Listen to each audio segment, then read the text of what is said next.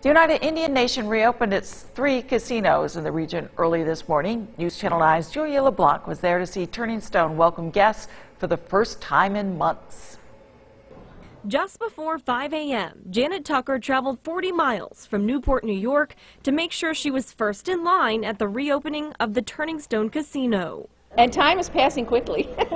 Playing Sudoku to keep busy, Tucker only has one thing on her mind getting inside to use her favorite machine she's been missing for months. I will feel like life is getting back to normal. Um, I enjoy coming to the casino, I enjoy shopping, I enjoy going out to dinner, and so this is my way of returning to normalcy. But normalcy looks different at all three of the Oneida Nation's gaming properties in central New York. Customers and employees will have to wear masks, sanitize often, and they have to go through a screening process before entering. We just uh, dove right in and did a great deal of study and care. Our foremost concern was for our employees and our guests. As soon as customers come in, they have to get their license scanned, they use hand sanitizer, and they also have to get their photo taken so they can get in touch with them for contact tracing.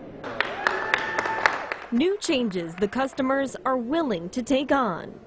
Uh, we'll play a few of the slot games and uh, enjoy the opening of the casino. You know, I'm glad it gives us something to do. You know, I'm glad that we're here. Julia LeBlanc, News Channel 9. The Oneida Nation was able to rehire many of the 4,500 employees furloughed because of COVID 19 forcing them to close.